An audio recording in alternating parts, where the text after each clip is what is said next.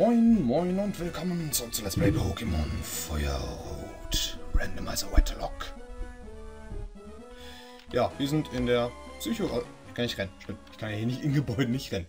Ähm, wir sind in der Psycho-Arena und... Ja, kämpfen uns jetzt hier durch. wir sind endlich aus diesem scheiß Silphco-Gebäude raus. Da bin ich immer noch ziemlich froh darüber, dass es endlich vorbei ist. Äh... Nie, danke. Und ich bin einfach mal echt gespannt, was wir jetzt so in den nächsten beiden Arenas finden werden, weil, wenn ich jetzt bei dem... Ach ja, Rauhaut. Ähm, Moment, Rauhaut? Das war nur eine spezielle Attacke. Ach, was soll's.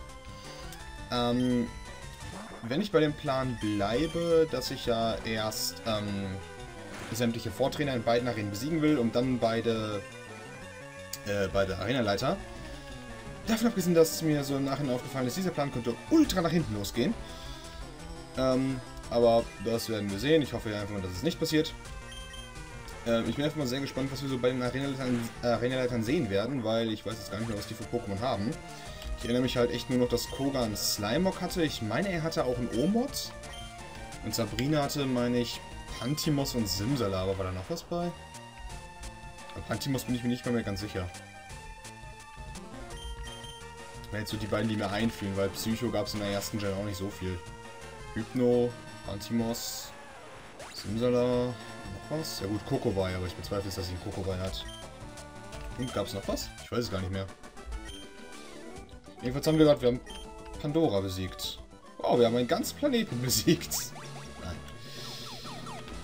Vielleicht haben wir auch einen Geist besiegt, niemand weiß es so genau. Machen unsere Psychokräfte Angst? Äh, nö. Ganz ehrlich, nö. Es macht mir eher Angst, dass du da äh, Meisterbälle fliegen lässt. Es sieht einfach aus wie ein Meisterball, in dem, wenn sie das halt so lila eingefärbt haben. Steuerrock. Äh. Äh, nee. nee, nee, das funktioniert auch so. Wir hätten auch einen Steuerrock haben können. Okay, es funktioniert, funktioniert vielleicht auch nicht so. Ruhig zu wechseln für Schaufler und so. Wobei, jetzt ist Eisenabwehr, dann jetzt ist Schaufler auch wieder egal. Hm. Okay, ich muss wechseln. Okay, bei einem Verteidigungsdrop ist das ziemlich scheiße, da muss ich raus. Ich brauche... Jetzt kommt jetzt ein Bodycheck an. Aber gut, Rückstoßschaden. Was ist jetzt wohl stärker? Ein Schaufler oder eine Psychokinese?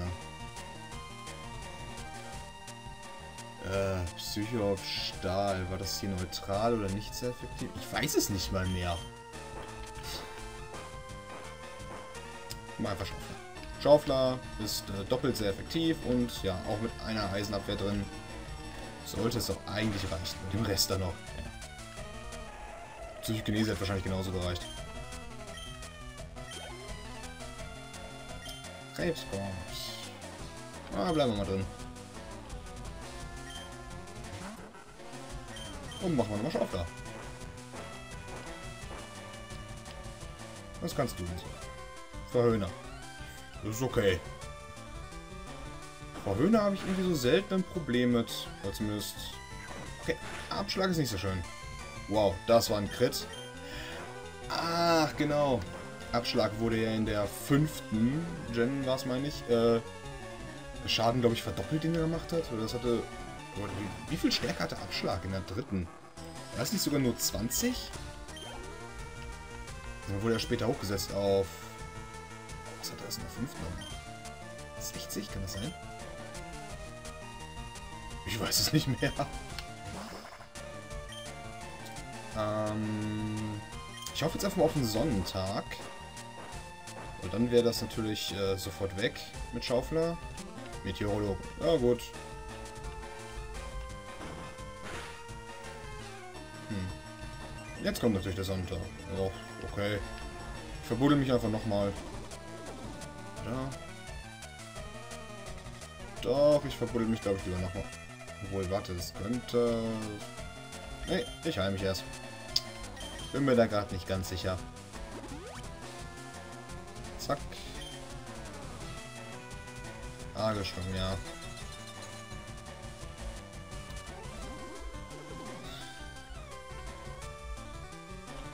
Hm. Jetzt haben wir ein Eisformeo. Eigentlich, wenn es gerade Eis ist, versuchen wir doch mal eine Kraftreserve. Hm, ja. Der Schaden, ne? Der Schaden. Und wieder ein Feuerformeo. Ich finde Formeo halt für die, ähm, für diese Wetterversion ganz cool, aber ja, es ist halt... Formeo ist zwar cool und auch eine nette Idee, aber halt komplett nutzlos. Semon.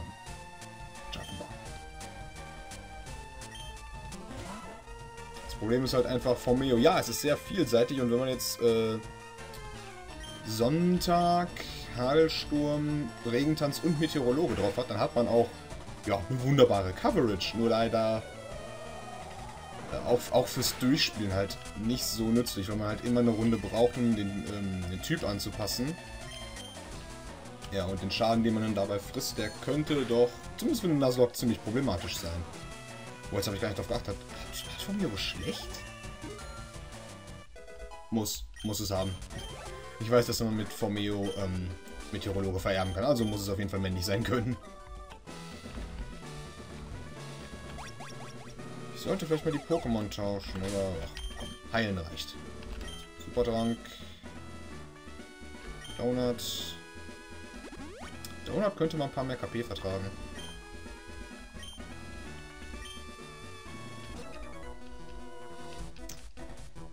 Viele waren das jetzt eigentlich?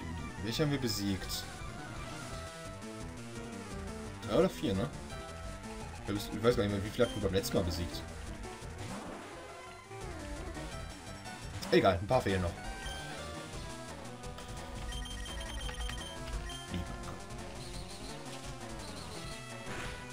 Coole Animation.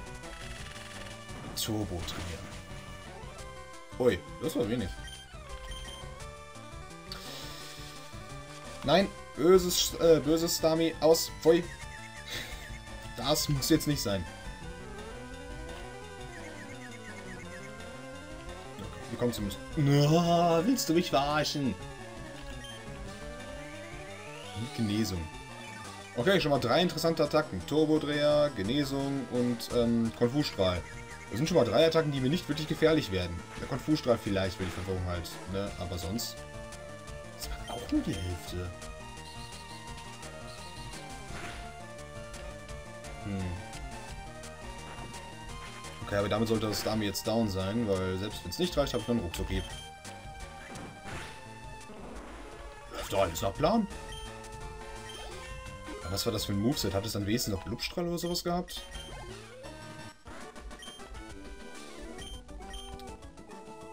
So, wie sieht es eigentlich gerade im Team aus?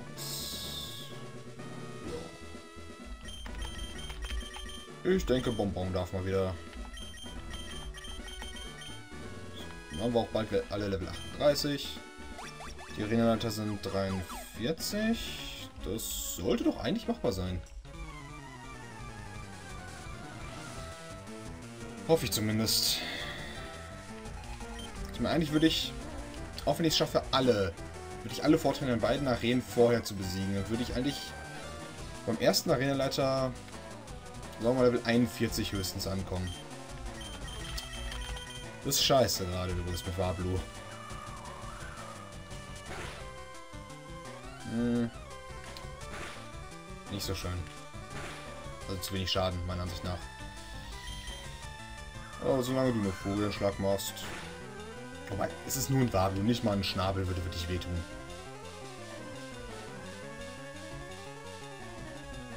Gegner wird in Weißnebel gehüllt.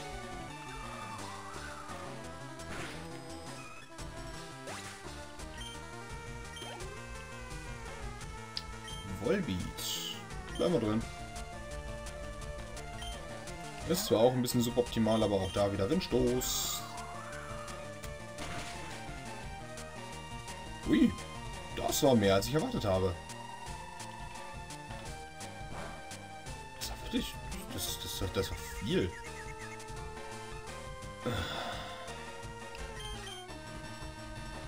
Die Verwirrung schon wieder, ne? Ich hasse Verwirrung. Ich meine, wir haben noch... Ich sag mal, wir haben noch Glück, weil, ähm, wenn das jetzt hier wirklich als Psycho-Pokémon wären, könnten die wahrscheinlich alle irgendwie Konfusstrahl, Hypnose und Konfusion. Konfusion kann ja auch verwirren. Hatten wir die schon? Ich hab, ne, die haben wir nicht. Oh. Ich dachte, den hätten wir schon gehabt. War der drunter. Äh, scheiße, ich hätte vielleicht mal Pinella heilen sollen. Äh, ja, ich hätte es definitiv heilen sollen. Erlebst du eine Elektroattacke? Spezialverteidigung war okay. Einen musst du überleben. Am besten kriegen wir jetzt einfach den Boost, weil dann ist das Ganze überhaupt kein Problem mehr. Oder Voltenso macht Brüller. Das ist quasi genauso gut.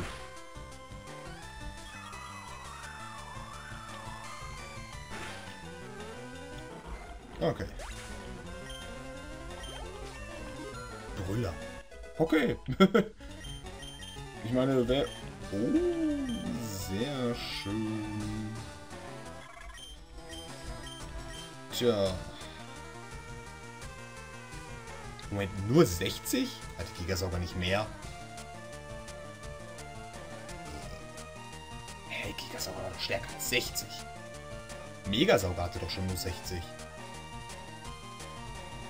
Äh, ne, in dem Fall nicht. In dem Fall nicht. Weil zum Heilen habe ich noch Morgengrauen und, ähm... ähm zum Heilen habe ich noch Mega, äh, habe ich noch Morgengrauen und äh, Zauberblatt trifft auf jeden Fall immer. Und da die Gegner ja ab und zu auch schon mit sowas wie Doppelteam ankamen, ist mir das dann irgendwie lieber. Ne, das ist jetzt, das ist Quatsch. Gigasauger hat doch mehr als 60 Schaden. Das gucke ich da erstmal nach. Das kann doch nicht sein. Das Spiel lügt euch an. Knapp. Ja, das ist gut. Komm, das reicht jetzt aber. Das ist ziemlich genau die Hälfte. Es ist immer unschön, wenn sowas passiert. Äh. Okay, aber setz nicht nochmal Steinwurf an.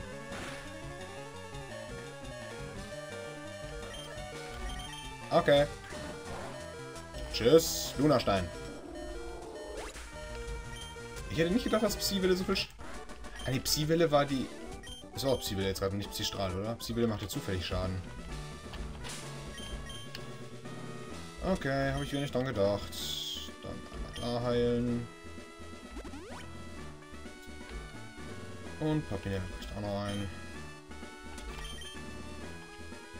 Ich habe gleich keine Supertränke mehr.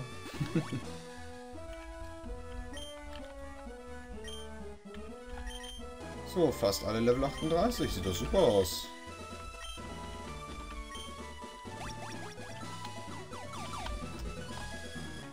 Das nicht langsam mal alle Trainer? Das hier müsste jetzt sogar schon die letzte sein, oder? Weil wir haben oben beide, wir haben unten beide und dann in der Mitte. Ne, oben so alle drei müssten wir jetzt haben und dann in der Mitte jetzt beide, ne? Oder haben wir Oben links? Ne, oben links schon? Weiß ich gerade nicht. Jedenfalls Metang. Äh, Metang ist unpraktisch. Oh, Metang ist richtig unpraktisch. Da kann ich überhaupt nichts gegen machen.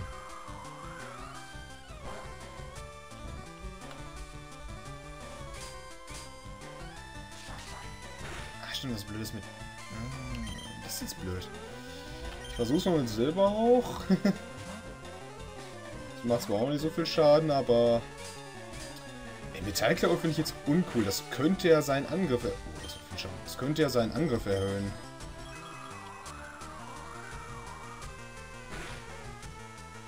Das macht überhaupt keinen Schaden. Äh, Bonbon, du musst mir jetzt einen Gefallen tun. Kannst du dir aussuchen. Entweder du kriegst den Boost oder du machst einen Volltreffer. Suchst dir aus. Mir lieber beides recht.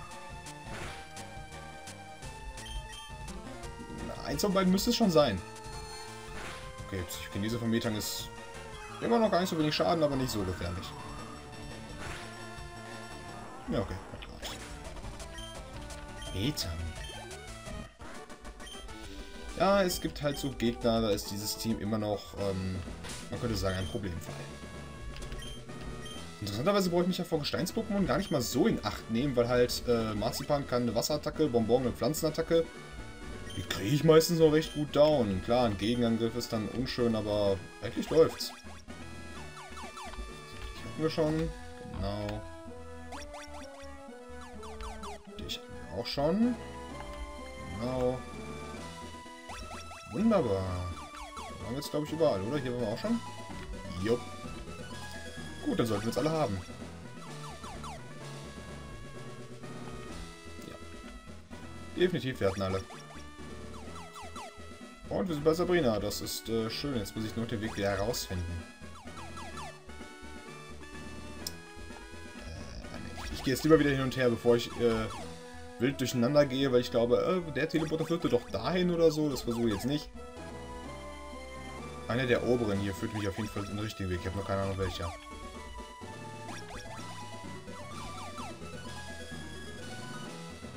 Das ist wirklich die einfachste Methode, um durch diese Arena zu kommen. Finde ich zumindest. Okay, es wird der oben rechts.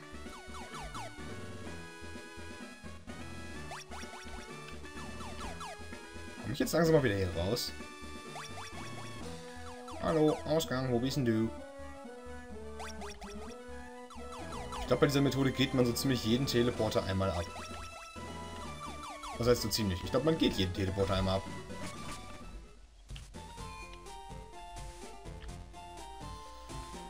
Hm. Äh, eigentlich könnte ich auch direkt, wenn ich schon dabei bin, da könnten wir mal auf unserem Donut runter nach Fuxania fliegen.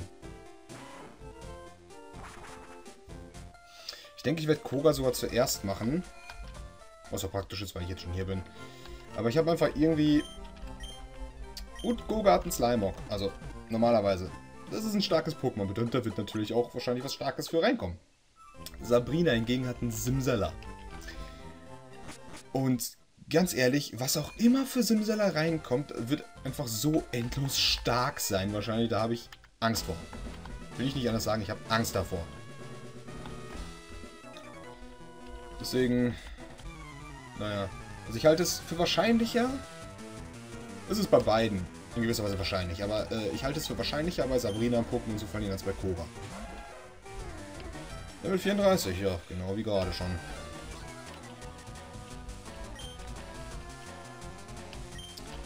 Äh, ich wollte eigentlich Blitzstrahl machen.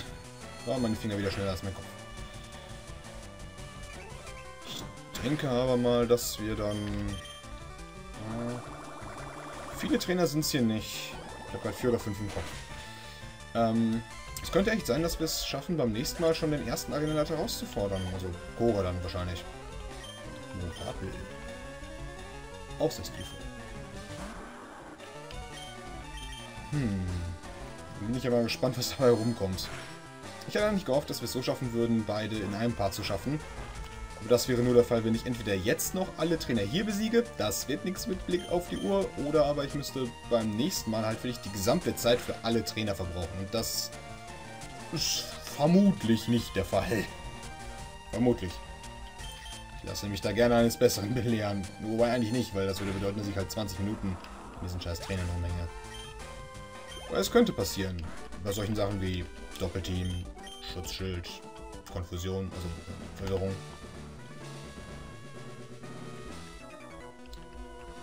Aber die beiden hier schaffen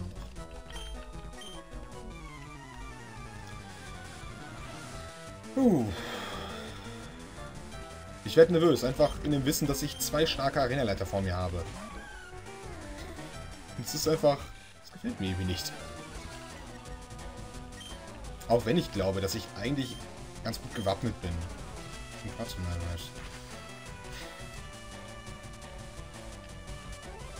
werde vor allen Dingen... Ich werde beide.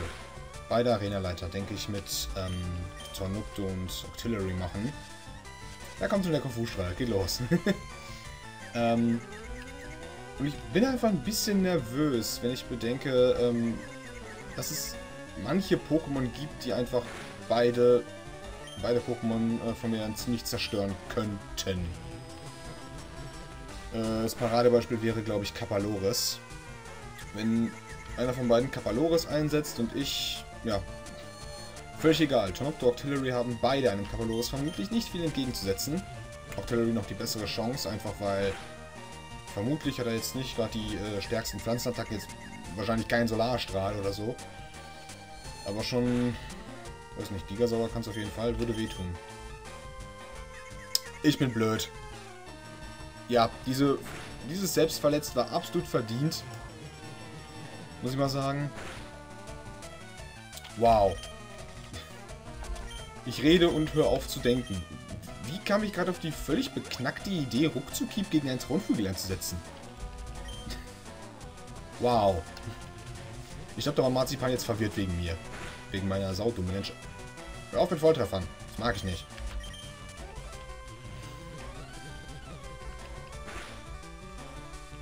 Marzipan ist nicht mehr verwirrt. Trainer hat die richtige Entscheidung getroffen, also ist Marzipan nicht mehr, mehr verwirrt. Wow. Entweder bin ich müde, glaube ich nicht. Oder ich bin, keine Ahnung, dumm. Alles deutet auf das Dumm hin. Gut. Ich würde mal sagen... Tja. Beim nächsten Mal dann der Rest der Giftarena. Und dann, ja, ziemlich sicher halt auch schon Koga. Ich bin nervös. Gut, man kann berechtigterweise bei jedem Arenaleiter nervös sein. Vor allem in dem Randomizer, wenn man halt nicht voraussehen kann, was dieser Arenaleiter einsetzen wird. Ähm, das möchte ich gar nicht. Ich trainiere jetzt noch Artillery, also Affe und Muffin ein bisschen. Manchmal nicht so bei den Namen, manchmal bei den Pokémon. Und ich, warum? Ich sollte mich mal für eins entscheiden. Werde die beiden jetzt noch ein bisschen trainieren. Wenn es gut läuft, kriege ich sie noch Level 40, bevor wir zu Koga kommen. Vermutlich ja nicht. Aber ich werde es versuchen. Bis zum nächsten Mal. Ciao.